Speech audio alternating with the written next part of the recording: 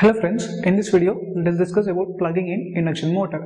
So plugging is one method of electrical braking of induction motor and in general there are three methods of electrical braking of induction motor.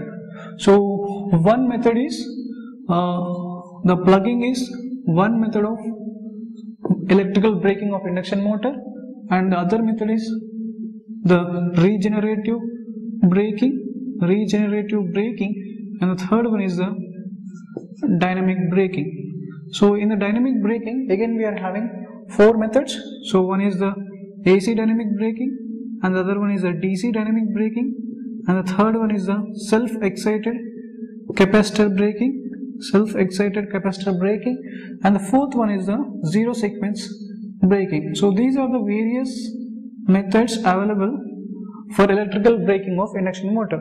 So normally speaking, for stopping any motor or for stopping of an induction motor or any motor, uh, what we have to do is we have to just disconnect the motor from the supply mains. So when you disconnect the motor from the supply mains, uh, the torque developed will no longer remain and the combined effect of your rotor and load will bring the motor to standstill. So this is how you can stop the motor? Now when a more when a more rapid and positive action is required. So more rapid braking more rapid and positive action a more positive action is required then you can go for the electrical braking or the mechanical braking. Now this electrical braking over the mechanical braking has several advantages and uh, where particularly you need to uh, you need to know the precise control of stopping. So where you particularly know need to know the precise control of stopping and where the smoothness of operation is required. So this gives these two advantages give you gives the electrical braking an edge over the mechanical braking. Now an electrical motor is said to be in the braking mode when the developed torque or when the direction of the developed torque is opposite to that of the rotation of the motor. So then you can say the electrical motor is in braking mode. So normally the motors normally the, the motors can be in two modes.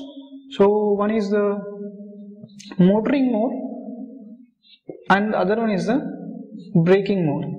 So in induction motor you can also say the regenerative mode when the when the slip goes uh, when your slip goes negative then you can say or when your speed goes beyond the synchronous speed then you can say in the regenerative mode. But normally speaking one is the braking uh, one is the motoring and the braking because your regenerative mode is also a uh, kind of braking. So here we have seen the regenerative braking and in the induction motor torque slip characteristics we will see that uh, beyond synchronous speed or when the slip is negative you will see the regenerative mode of braking. So the motor is motoring and uh, when when we say the motor is mot motoring that means it is taking electrical energy. So there is a conversion of electrical energy to mechanical energy and it supports its motion. It supports its motion and uh, a motor is said to be in braking when there is a conversion of mechanical energy to electrical energy and here it opposes its motion. It opposes its motion. So these are the two things you have to keep in mind. So when is the motoring and when is the braking and what what will happen in the braking and what will happen in the motoring. Now we have uh, we have i have told you the three methods of braking. So in this video I will discuss only about this plugging, plugging method of electrical braking of induction motor. So the plugging can be achieved in an induction motor by just merely reversing any two of the three phases of the stator terminals. So if, if I say there are three terminals, there are three terminals and these three terminals are connected to the supply mains and these are to your stator windings. So let me say this is R, this is Y and this is B. So merely by reversing any two, any two of the three phases R, Y, B. So if you reverse any two of the or interchange the connection of any two phases of the three phases available, then you can achieve your plugging and this reversal of any two phases of the three phases, it will cause the direction of your rotating magnetic field reversed. So the direction of rotating magnetic field gets reversed by interchanging the connection of any two phases of the three stator phases available. So how the direction of rotating magnetic field changes by changing any two phases of the three phases. So normally speaking, if I say, so let me say this is R phase and this is Y phase and this is Z phase. So your R phase follows your Y phase and your Y phase follows your this R by B. Uh, your Y phase follows the B phase and again B phase follows your R phase. Now I am interchanging any two of the three phases. So what I do here is let me make R, R is I am not changing anything with R. Now I am changing the B and Y phases. So I will put my B here and uh, this will be my y. Now again as we said the convention R follows y, y follows b and b follows r. So similarly here you can see your r should follow y and y should follow b and b should follow r. So here the direction is clockwise and here the direction is anti-clockwise. That means by changing any two of the phases of the three stator phases, you can change or you can reverse the direction of rotating magnetic field. So when the motor is switched to a plugging operation, then you can see the speed of induction motor or the uh, speed of induction motor you can say it will be in reverse to the direction of rotating magnetic field. That means your this is the speed of rotating magnetic field uh, and NR is the speed of induction motor. So these both will be opposite when the plugging operation is when the plugging operation is continued. So that means when this NS will be opposite to NR then if I talk about the slip your slip will be equal to here we have reversed the direction of rotating magnetic field so I am writing minus ns minus nr upon minus ns so minus ns minus ns is for we have reversed the direction of rotating magnetic field and this if I say sp sp uh, slip in the plugging mode. So it will be equal to 2 minus s where s is ns minus nr upon ns that means here you can see the slip at plugging operation will be nearly equal to 2. So the slip will be equal to 2 that means the voltage induced in the rotor circuit will be double the voltage at standstill. Suppose uh, let me say S into E2 is the voltage induced in the rotor circuit. So if I draw the rotor circuit, uh, so this will be a rotor circuit and again we are having stator and uh, there will be a drop here. Let me run this. There will be impedance here and there will be a supply. So here the voltage induced will be S into E2. This is X2 this is uh, this is S into X2, this is R2, uh, this will be R2. So at standstill, at standstill, this induced voltage will be equal to simply E2 because at standstill S is equal to 1. Now in the plugging, plugging operation, when the slip will be equal to 2 or approximately equal to 2, the voltage induced will get doubled. So now the voltage will be more and uh, when the voltage or the induced EMF is more then the current in the windings will also more. So that means you have to uh, you have to incorporate additional insulation for the windings. So this will cause you to incorporate additional insulation to the windings. And uh, here the motor acts as a brake. So the motor acts as a brake and it absorbs the kinetic energy from the still revolving load and that kinetic energy if I say P mechanical so let me write uh, I'll write here. So P mechanical is the power associated with the revolving load? So the load is continuously revolving and then I have switched on my motor to the plugging operation. So when the motor switches to plugging operation, the motor acts as a brake and this motor absorbs the kinetic energy from the revolving load and uh, that kinetic energy, if I associate the, with the mechanical power, so that kinetic, uh, that kinetic energy associated power is P mechanical. So this P mechanical is dissipated in the form of heat and at the same instant the rotor also draws power from the stator and that heat will also be dissipated in the form of heat. Now as the slip is 2 here, so your rotor frequency F2 will be equal to 2 times of stator frequency. Now as the frequency has increased, this will cause you additional iron losses in, in the motor. So these will also get dissipated in the form of heat. So basically we are having three uh, power dissipations. One is from the still revolving load and one is from the rotor drawing power from the load and other one is from the iron losses.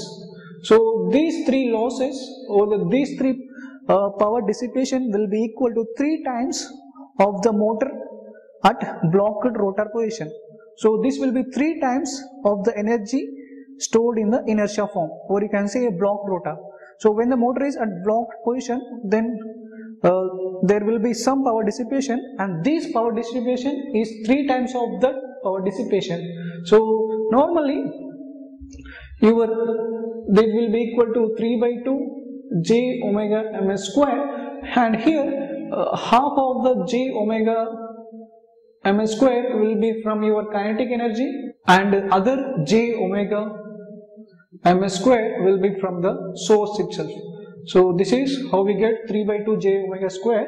Now in the squirrel cage induction motor, this whole heat is dissipated in the machine itself and uh, whereas in the slip ring type of induction motor, we can employ the external resistance for this uh, purpose of heat dissipation. So now if I talk about the size of the motor, so your size of the motor depends on the loading condition normally. But where you employ the plugging operation, so the size of the motor where plugging operation is employed, it depends on the loading condition as well as the braking conditions as well. So this is, so you should be careful by choosing, for choosing the size of motor whether you are employing which kind of braking. So if you are employing the plugging kind of uh, braking then you have to choose the size of the motor depending on the loading conditions as well as on the braking conditions. Now if I talk about the torque slip characteristics in an induction motor, so let me say uh, the curve will be like this. So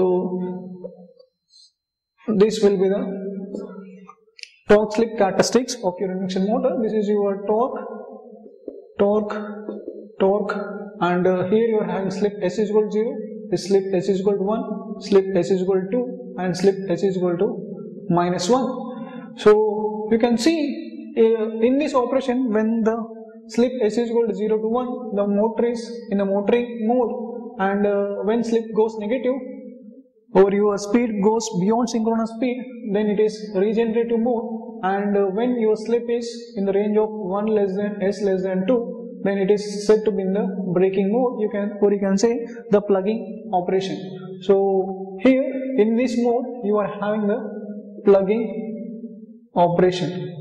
So the plugging operation is when your slip is greater than 100% so you know if I same discuss the torque slip characteristics here. So let me say this is my torque and this is my slip. And your slip s is equal to 0 here. And uh, let me say your slip s is equal to 1 here and your slip s is equal to 2 here. That means basically this mode has become your motoring mode and this mode has become your plugging mode. So these are the various torque slip characteristics plotted for the different resistors. So rotor resistors, if I say this is my rotor resistance R1, this is for rotor resistance R2 and this is for rotor resistance R3. So we know that the slip corresponding to maximum torque, your slip corresponding to maximum torque can be given by S is equal to R2 upon X2. But the T maximum will be given by uh, 60 by 2 pi ns into 3 v square upon 2 x2 dash where x2 dash is uh, rotor that is a standstill. Let me say the rotor reactance referred to the stator side so this is the t maximum and the t maximum is independent of the rotor resistance. There is no r2 term in this equation and your T maximum is independent of the rotor resistance but the slip corresponding to maximum torque is dependent on the rotor resistance. That means as you increase the rotor resistance the slip corresponding to maximum torque increases so here you can see the resistance R3 is greater than R2 is greater than R1 so the higher the resistance you employ you are having the higher braking torque. So this is the, uh, let me say this is a point B and this is a point A.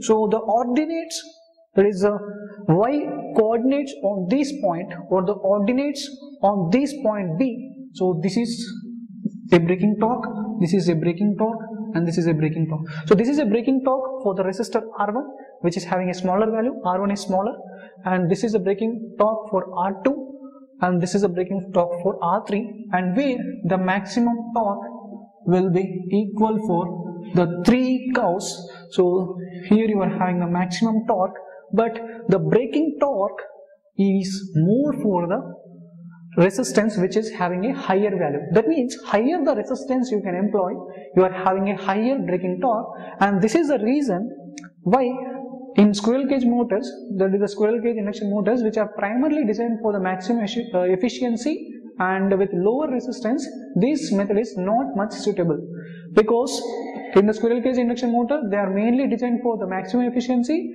and uh, their rotors are having low resistance. And for the low resistance, the braking torque is smaller. And that is why for squirrel cage induction motor, this plugging is not much suitable. And uh, you can employ in the squirrel cage induction motor by inserting the external resistance through slip ring and brushes so that you can have a higher braking torque.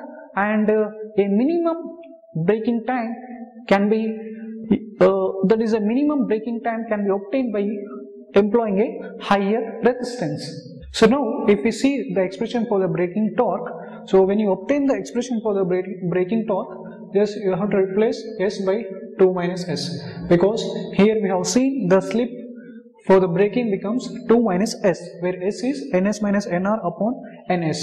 So the expression or the equation for the braking torque can be given by 60 upon 2 pi ns where ns is the revolution per minute this is 3 into s into e2 square into r2 upon r2 square plus sx2 whole square. So this is the expression for the braking torque and if you see the expression for the rotor current your IT will I2 will be given by S into E2 upon under root of R2 square plus S into X2 square. So this is the expression for the uh, rotor current and this is the expression for the braking torque and we have seen that the slip becomes or the slip approaches to 2 or it is approximately equal to when you resort to the plugging operation. So now as the slip becomes 2 and uh, your induced EMF which is S into E2 which is nothing but twice of the induced EMF at standstill. So as the induced EMF become more the rotor current will also be more. So the rotor current will be more and uh, it may damage your windings. So that in that case if you see the type of motor, if we employ the squirrel cage induction motor, then the windings may get damaged. But if you employ the uh, slip ring type of induction motor, you can uh, insert external resistance to prevent this high flow of current. So in that point of view also, your slip ring type of motor finds more suitable for this plugging operation. And if you see the plot for the current, so normally your current will be like this. So in this from the motoring action this will be the rotor current in the motoring action and this will be the braking action. So this current can be minimized by employing uh, external resistance into the rotor circuit. So if we talk about the uh, torque slip characteristics or the braking that is a plugging method of braking an induction motor by analyze, analyzing through the quadrants. So this is your first quadrant uh, this is your second quadrant this is third quadrant and the fourth quadrant. So let me give you a brief review. So this is the torque slip characteristics. Let me say this is r1 for the resistor r1 and this is the resistor for r1 and this is for r2 and uh, this is for r2 resistor r2 where r2 is greater than r1 so this the for the resistor r1 the torque slip characteristics represent so let me say uh, clearly r1 and r2 characteristics are for the normal direction of rotation of motor so these characteristics are for the normal direction of rotation of motor. So this is your torque and this is your speed. Let me say ns so ns is your speed and here we are having the negative torque and here we are having the negative sp speed. These two characteristics are for the normal direction of rotation and these two characteristics are for the reverse direction of rotation of motor. So uh, where this is this line represents your torque load TL and this is for minus TL. That is a torque load. Now at the instant when the motor is switched on and if I say this is my operating point let me say A is my operating point where your torque load meets this torque slip characteristics. Now at this point A we are having a load. We are having a load and uh, the torque load is TL and let me say this point is N. So the speed is N. Now the load is we are having a load and we are having a torque load and the N now when you resort to the braking operation when the braking option, uh, operation is continued or when you switch on to the braking operation these torque slip characteristics will fall to this position either this position or this position. So if you are employing a smaller resistance it will fall to this position and if you insert during the plugging operation external resistance then let me say this is the point of operation when you resort to the plugging. That means maintaining the same direction so the direction of rotation will be the same. So n is positive here but the development the developed torque will be reversed. So n is positive the direction is same the direction of rotation is same but the developed torque becomes negative. It is same the speed of that is a speed of rotation or the motor uh, direction of rotation is same but the torque developed becomes negative. Now if you employ external resistance it will fall here. If you do not employ the external resistance it will fall here because this this resistance will remain same. Now this will reach the point let me say f is the point here or from here this will reach this point. Now when these characteristics will reach this point. So f is this point. Now here you can see the speed has become zero. The speed has become zero but the torque is not zero. It is having some negative value. So negative torque exists here or reverse torque exists here. And uh, now at this juncture you have to disconnect the motor from the supply mains. So you have to disconnect the motor from the supply means at point F when the speed is equal to 0 otherwise if you fail to disconnect the motor from the supply uh, they will go they will fall in the reverse uh, motoring. So here this is your plugging operation and this is motoring operation and this is reverse motoring operation. So they will fall in the reverse motoring operation and they they will develop a negative direct that is a negative speed or you can say the reverse direction of rotation. And uh, if you employ the same resistor R1 then this will become the operating point. Let me say E is the operating point. So this will be the operating point if you fail to disconnect the motor from the supply for the external resistance removed. Now if you remove the external resistance this will be the operating point and uh, if you employ the same resistance R2 then this will be the operating point. And in case if you employ a very high resistance then you can see your plugging operation in this fourth quadrant. So for a very high resistance, the plugging operation can be seen in the fourth quadrant because here you, you can see the slip S is equal to 1 and slip S is equal to 2. So that means here we are having 100% slip. You are having 100% slip. That means your speed is equal to 0 and the speed is negative here. You are having negative speed. So in this region we can see the plugging for a very high resistance that means if I employ a very high resistance, so here we are having a negative speed. So for in the reverse direction of rotation, uh, the for a high resistance, the plugging operation can be. So this will be the motoring operation, and this will be the plugging operation. So the plugging operation for a very high resistance can be seen in the fourth quadrant where for some normal resistance you can see the plugging operation in the second quadrant. So this is all about the plugging method of braking in induction motors. I hope you understood well. Please subscribe to our channel. Thank you.